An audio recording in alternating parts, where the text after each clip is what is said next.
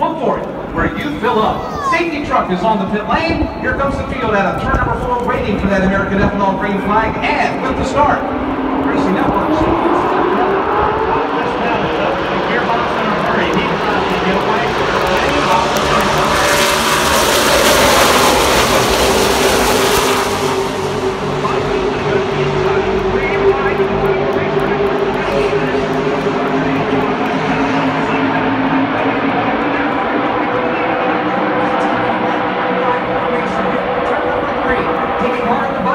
the. Tyler Reddick. He'll squeeze out in front. Douglas County back in the second. They're two and three wide from third